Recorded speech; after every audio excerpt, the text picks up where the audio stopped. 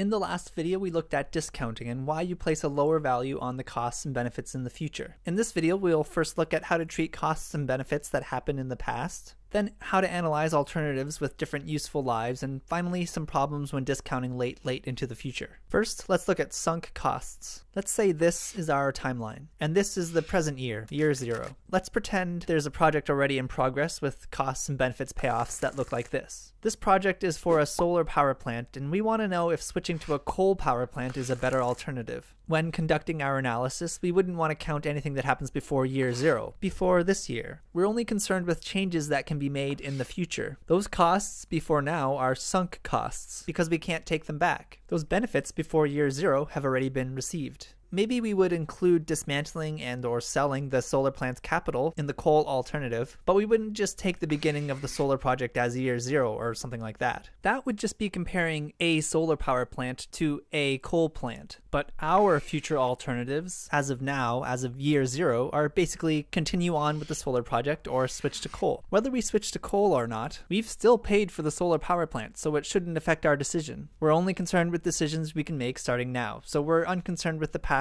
costs and benefits. Next, let's look at comparing project alternatives that have different useful lives. Let's say this is the characteristic shape of a project with respect to time. So for example, let's look at asphalt road work. In the beginning, you have the larger costs to install the road, and every year there's maintenance costs to fill potholes or repaint the lines or do other repairs. And then every year people receive the benefits from being able to use the road. Okay, number of considerations. First, when does the project start? What if the previous road was just gravel and the town was tired of regraveling it every every five years and just wants to pave it. Does it have to happen immediately? If the gravel road was put in recently, maybe there are benefits yet to be received by waiting a few years until that gravel road has gone through its life cycle. Starting immediately or waiting would have to be tested as separate alternatives. Maybe the benefits gained by the asphalt road are so much greater that it's actually not worth waiting. Next, uh, when do the costs start? And when do the benefits start? For a paved road, there would be the initial construction costs, there would probably be little maintenance for the first several years and subsequent maintenance costs that increase over time. Benefits would start as soon as the road has opened, probably in the first year. Then how long do the benefits and costs run for? How long is the project life? There's no set rule for deciding how long a project's life is, and it will depend on the project. For roads of any design, it would probably be the time until the road needs complete replacing. You wouldn't take this as the project life, or this. Otherwise, it might not be analyzing the life of one project, but part of one or one and part of another. What if two different alternatives look like this? One an asphalt road with a project life of 20 years, and one a gravel road with a project life of 5 years. How do we compare them? We could try cutting this one down by a quarter, but we wouldn't be accounting for the greater benefits over time gained by the relatively large upfront costs. It would be better just to assume that this other project is repeated four times over the course of the 20 years. For other kinds of projects, maybe a project that doesn't necessarily repeat, like a hydroelectric dam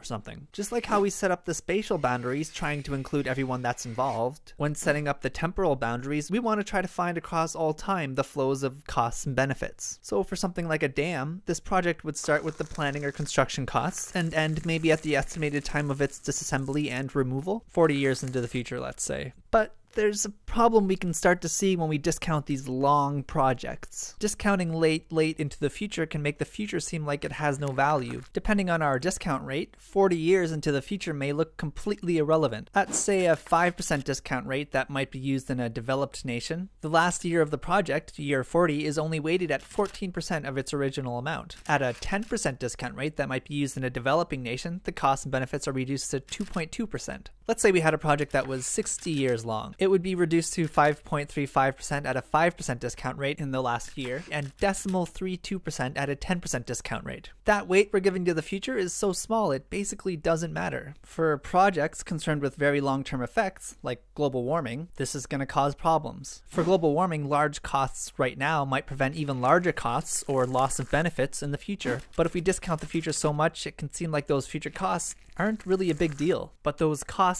today are. To fix this, some suggest using a lower discount rate, say 1 to 3% for the distant future, and it's suggested this is how people actually value the future. The near future, 1 to 30 or 40 years, we are impatient. We want that TV with more resolution than the real world, and we want it now. We think about the alternatives and we use a relatively higher discount rate, but for the distant future, we tend to plan ahead, are more patient, and will discount lower. Planning later into the future also tends to apply to our children and to our grandchildren, whose consumption we won't discount as much as our own. Others suggest that normal discount rates and seemingly irrelevant futures are economically efficient for the usual reasons. By assigning a higher value to the present, we can increase prosperity and well being greater than the cost of something like global warming and overcome those huge future costs or negative benefits. That's what the discount rate is supposed to communicate. If these huge future costs have a very small present value, that means they're easier to pay off. Along these same lines, it's suggested that these normal discounting rates are fine, but that these moral issues about how we treat the costs that will be paid by future generations fall outside the role of discounting and should be handled beside discounting, rather than trying to address these problems by changing the discount rate. But these are all things that economists seem to go back and forth on. In the next video, we're going to look at discounting again and how to calculate the net present value.